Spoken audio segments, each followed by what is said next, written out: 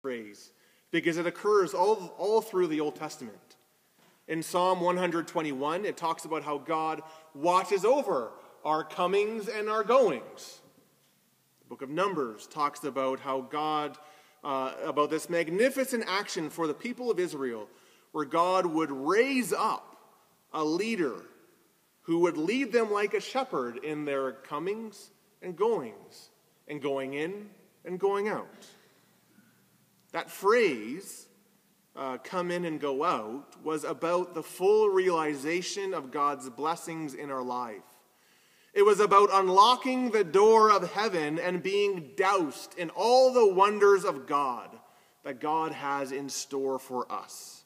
Because Jesus does not simply want us to get by spiritually. He doesn't want us simply to eke out a spiritual life. Jesus did not come so that we could simply progress day by day without a sense of inner vitality or vibrancy. Jesus says, I have come so that you may have life and have it in the full and have it abundantly. Commenting on this passage, Charles Spurgeon says that how sad it is that many people in faith are content to simply exist instead of actually thriving. And yet, the constant picture that we have in Scripture of our life with God is not about just getting by, it is not about just existing. It's a picture of abundance. God holds up rivers and lush lands and magnificent banquets. It's not a cup that has enough, it's a cup that runneth over. That's the life that God wants us to have. And Jesus is the gate that leads to it.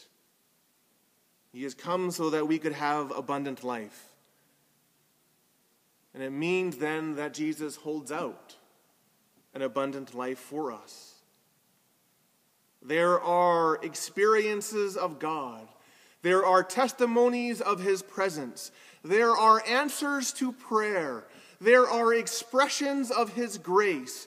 There are manners in which God will rend the heavens and pour out blessings upon you if we would just come through Him. It's the promise of Scripture. If we would just listen and heed it. And yet, all those things stand forever elusive if we fail to walk through the very means by which it is offered. St. Augustine says that our hearts are restless until they find their rest in you. There is no amount of spiritual steeping of the soul, or spiritual readings, or hidden uncoverings that will produce that soul satisfying, spirit enriching, and faith fueling life that awaits us if we walk through the gate which God has provided in Jesus Christ. This passage is an invitation. The gate is swung wide for all who would enter. All who enter will find pasture. Again, pasture is what sheep want, it's what they look for, it's what they search out. Pasture is what they feel deep within as what they need most in their lives. And it keeps going and going and going. I have to tell you, I was thinking about this and uh, about that image of pasture and, you know, what could be an image today that would connect with us. And uh, instantly, my mind went back to when we were in London a, a week ago and we went to Hamleys. Now, if you don't know Hamleys, Hamleys is like a million story toy store. It's just, it's a huge, huge toy store. And we went in there with Solomon and Solomon, in joy and expression and exhilaration, kept on saying, My Lord, there's another floor. Then we go up. There's another floor. Then we go up. There's another floor. Then we go up, and it was the pink floor, and we don't want the pink floor, but it's another floor. And we just go up and up and up and up.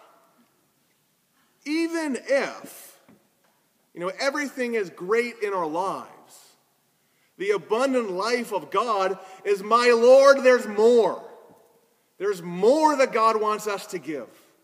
There's more that God wants to give us. There's more blessing that God wants to shower upon us. There is more. What is it that brings life to your faith? What will provide energy to that which may have been complacent, or a light which may be to something that has grown dim?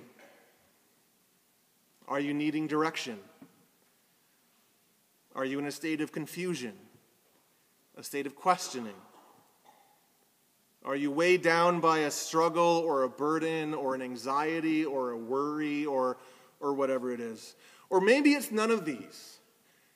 Because I know that there's probably people here that say, you know, I've been sitting in the church for longer than you've been alive. And maybe everything is working out in your spiritual life exactly the way that you want it to be. You know what? There's more. Do you want a bit more? Do you want a deeper sense of his presence? Do you want a, a bigger feast of his grace? Do you want to uncover that which he might have in store for you next? Then walk through the gate. State boldly from the deepest place that you can muster that you accept Jesus as the way to that which you seek most Of course, when we walk through him as the gate, we also encounter him as the Lord, as the good shepherd to whom we must follow. And when we uncover him as the shepherd, we also uncover him as the bread of life, the one that we're called to listen to and to feed upon. See, it's all about him. Steeping your soul, it's all about us. It's all about what we can muster, what we can dig up, what we can figure out. In the gospel, abundant life, it's all about him. And in the same way that pressing physical conditions drive us to a doctor or a problem with our car moves us to the mechanic, take whatever need or desire or worry or feeling or joy that you have within you spiritually and take it to Jesus. Because he has come for you to know life and know it in all its abundance.